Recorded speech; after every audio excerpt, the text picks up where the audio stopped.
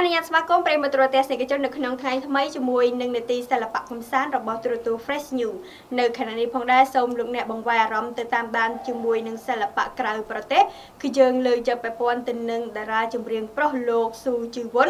បានប្រកាសរៀបការជាមួយនឹងតារាសម្ដែងស្រីនាងគឹមមីនយ៉ាង បរិបប្រណាំងរថយន្តក្នុងឈុតមួយនៃ Hard Single Section 1គឺស៊ឺជូវុនបានភ្ជាប់និស្ស័យជាមួយនឹងតារា model ដែលជាតារាទូរទស្សន៍ដែលមានឈ្មោះថាគឹមមីងយ៉ាងហើយ។ ប្រភពមួយពីក្រុមហ៊ុនទទួលរៀបចំអាពាហ៍ពិពាហ៍របស់អនាគតគូស្វាមីភរិយានេះបានឲ្យដឹងថានៅថ្ងៃនេះដែរស៊ឺជូវុននិងគឹមមីនយ៉ាងនឹងរៀបការនៅក្នុងទីក្រុងសេអ៊ូលនៅថ្ងៃទី11ខែវិច្ឆិកាខាងមុខនេះហើយក្រុមហ៊ុនក៏បានបញ្ចេញរូបថតមុនរៀបអាពាហ៍ពិពាហ៍របស់អ្នកទាំងពីរផងដែរស៊ឺជូវុនបានរៀបរាប់ថាលោកបានស្គាល់គឹមមីនយ៉ាងដោយសារតែស៊ីងដងសមាជិកក្រុម Super Junior និងអ្នកនិពន្ធចម្រៀងគឹមអ៊ីណាណែនាំបន្ទាប់ពីលោកប្រាប់ថានាងគឺជានារីតែម្នាក់ដែលលោកគិតថាល្អបំផុតបន្ទាប់ពីបានជួបគ្នាជាច្រើនដងបានធ្វើឲ្យទំនាក់ទំនងមួយនេះប្រែក្លាយជាស្នេហានោះហើយក៏ជាហេតុផលដែលធ្វើឲ្យលោកសម្រេចចិត្តរៀបការជាមួយនាង